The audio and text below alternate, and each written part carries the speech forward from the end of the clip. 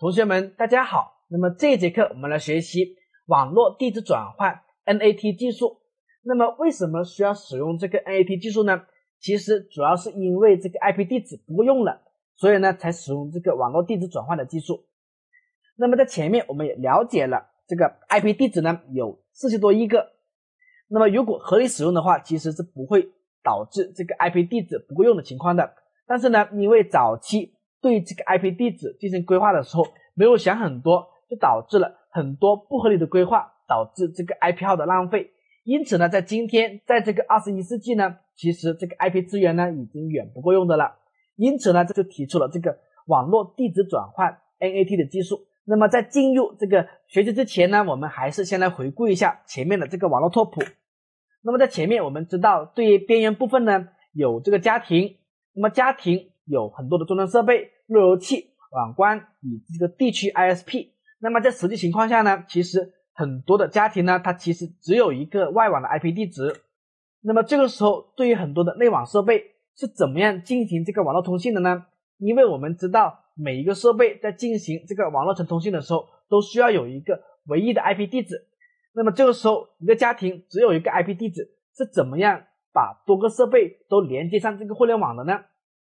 那么这个问题是需要解决的。那么除了家庭以外，其实对于这个公司来说呢，很多时候这个公司的 IP 地址也不足以支持这个公司内部的各种设备，因为公司内部呢有很多计算机、手机、笔记本电脑、路由器、网关等等。那么这些设备呢，都需要有一个唯一的 IP 地址。那么很多时候呢，这个企业其实都并没有这么多的这个 IP 地址，企业里面的这些设备是怎么样进行外网的连接的呢？那么这一个也是需要我们解决的。因此呢，在这里面我们需要对这个 IP 地址进行进一步的了解。那么 IP 地址呢，其实可以分为两类，第一类是这个内网地址，第二类呢是这个外网地址。那么什么是内网地址？什么是外网地址呢？首先，对于内网地址，其实呢它是内部机构所使用的。比如说，在家庭里面呢，家庭的各种设备，笔记本啦、手机啦，其实都是使用的是内网地址。那么，什么是外网地址呢？外网地址指的是全球范围内使用的，也就是说是全球唯一的一个地址。那么这个地址呢，称之为是这个外网地址。那么内网地址呢，因为是这个内网使用的，因此呢，在这里面需要避免与外网地址进行重复。那么对于外网地址呢，它是全球公网唯一的一个 IP。那么这些呢，就是这个内网地址与外网地址的一个区别。这里面我们重点是需要知道，这个内网地址呢，其实主要是给这个内部机构使用的，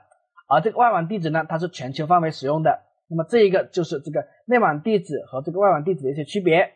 那么其实呢，这个内网地址呢，它也有三类，也通常也是分为这个 A、B、C 三类。那么首先呢，对于 A 类的内网地址呢，它是这个。一零点零点零点零到这个一零点二五五点二五五点二五五，那么这个内网地址呢，它可以支持千万级别的这个设备。然后呢是这个 B 类的内网地址，它主要是幺七二点幺六点零点零至到这个幺七二点三幺点二五五点二五五，那么这一个内网地址呢，它可以支持百万数量的这个设备，以及这个 C 类的地址。那么 C 类地址呢？它是幺九二点幺六八点零点零到这个幺九二点幺六八点二五五点二五五。那么这一个内网地址呢，可以支持这个万级别的这个设备。那么在这里面呢，因为这个内网地址它其实主要是给这个内部机构所使用的，因此呢，A 公司和 B 公司他们可以使用一样的这个内网地址，他们并不会引起这个冲突。同样的，对于 A 家庭和 B 家庭呢？他们也可以使用同样的这个内网地址，也不会引起这个冲突。那么为什么不会引起冲突呢？我们后面还会介绍。那么在这里面呢，我们就可以对刚才的这个边缘部分进行一个拓展了。那么对于这个公司呢，它可以在外部使用这个全球唯一的外网 IP，但是呢，在内部呢使用这个内网地址。那么这样子就可以解决这个不同设备连接互联网的问题。那么同样的。对于这个家庭呢，也可以在外部使用这个全球唯一的外网 IP，但是呢，在内部使用一个 C 类的内网地址。那么这样子呢，也可以解决这个不同设备连接互联网的问题。那么虽然说通过这种方法，每一个设备呢都分配了一个 IP 地址，但是呢，在这里面引入这个内网地址呢，又会引发别的问题，那就是内网那么多个设备。同时使用一个外网 IP 来进行这个请求外网的服务。那么在外部怎么样知道具体是哪一个设备来请求的呢？那么这个问题呢，就需要使用这个本节课所介绍的网络地址转换 NAT 技术来解决的了。那么这个 NAT 呢，它是这个网络地址转换的一个缩写，Network Address Translation NAT。那么 NAT 技术呢，主要是用于多个主机通过一个公有的 IP 访问互联网的私有网络当中。就比如说刚才的这个家庭里面呢，其实在内部都是属于这个私有网络的，他们的各种设备都是通过一个这个公网 IP 来访问外部的资源。那么同样的，对于刚才这个公司呢，其实内部都是使用这个 B 类的内网地址的，它也是属于一个私有网络。但是呢，这些设备呢都是使用一个公有的 IP 来访问外部的服务。那么 NAT 呢，就是解决这么一个网络拓扑在请求服务的时候，怎么样可以正常运行的一个技术。那么这个网络地址转换技术 NAT 技术，它是怎么样解决刚才我们所提到的问题的呢？我们接下来就来学习这个 NAT 技术具体的细节。那么在这里面呢，我们举一个例子，比如说这里面有个简单的网络拓扑，有一个计算机。以及一个手机通过路由器连接到外部的网络。那么在这里面，我们假设这个外部的 IP 呢，它的地址是这个幺七三点二一点五九点幺零。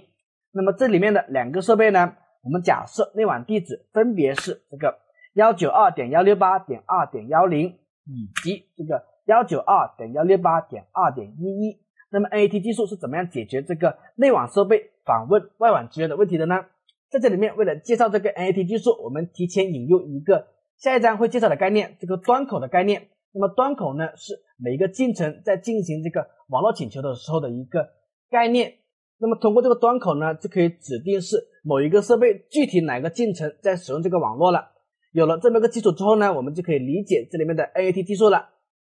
那么在这里面，我们假设这个幺九二点幺六八点二点一一。六六六六这个进程在使用这个网络，那么它发出的这个网络的 IP 报文呢，它将会是这个地址的。但是呢，这个报文的地址在来到这个路由器之后呢，它就会替换成这个新的地址以及端口号。比如说在这里面替换成为幺七三点二一点五九点一零，端口号是一六六六六。那么通过这个路由器呢，刚才所发出的这个数据呢，将会以这个新的地址以及端口号。发送到这个网络里面去，那么在这个目的计算机里面呢，它其实识别的是这个新的地址与这个端口号，它并不识别这个旧的地址以及端口号，因为在这个路由器里面已经进行了这个地址的替换，因此呢，在外部其实是和这个幺七三点二一点五九点一零来进行通信的。那么在这个目的计算机处理完这个数据之后呢，它又会把这个数据发送回这个。幺七三点二一点五九点一零点一六六六六，那么发送到这个路由器之后呢，路由器又会进行这个数据的转换，把这个数据报文的地址转换回这个幺九二点幺六八点二点一一，端口是六六六六。那么这个转换呢是在这个路由器完成的。那么同样的，如果说这个手机幺九二点幺六八点二点一零，它的七七七七这个进程在进行这个通信的时候。它的数据报文在经过这个路由器之后呢，就会替换成为这个幺七三点二一点五九点一零冒号一七七七七这个新的地址以及端口号来进行外部的通信。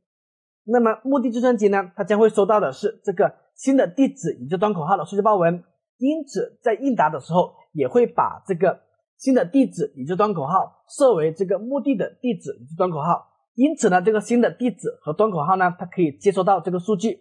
然后这个数据在路由器再进行一次转换，把这个幺七三点二一点五九点一零一七七七七转换成这个幺九二点幺六八点二点一零七七七七。那么这个呢，就是这个 NAT 技术的一个具体的细节，它其实是在本地的这个路由器进行的，它会把这个内网的地址以及端口号。转换成为新的地址以及端口号来对外进行通信，并且在接收到相关的数据之后呢，再把这个外网地址和端口号映射成为内网的地址以及端口号。那么这个映射的过程呢，就是这个网络地址转换的过程。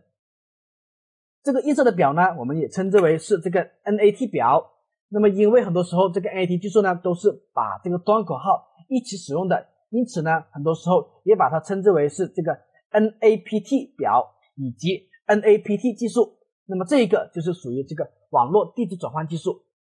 那么总的而言呢，这个网络地址转换技术它就是发生在本地路由器的，它的主要功能呢就是把这个内网的 IP 地址转换成为这个外网的 IP 地址来进行外部的通信。并且在接收到数据之后呢，再把这个外网的 IP 地址映射成为这个内网的 IP 地址，转发到具体的某个设备里面去。那么因此呢，这个网络地址转换技术它增加了这个网络通信的复杂度，但是呢，它减缓了这个 IP 地址的损耗。那么这个技术呢，其实是非常常用的，包括我们在本机安装这个虚拟机的时候呢，这个虚拟机进行通信的时候，也是使用这个 NAT 技术来进行通信的。以及我们在配这个家庭路由器的时候，我们内网的这个手机、笔记本、这个计算机在通信的时候，也是使用这个 NAT 技术来进行通信的。那么如果有条件的同学呢，还可以自己登录本机或者是自己家的这个路由器来看一下本机的这个 NAT 表。那么通过查看路由器的 NAT 表呢，相信同学们会对这个网络地址转换技术有更加深刻的了解。那么以上呢就是本节课的所有内容。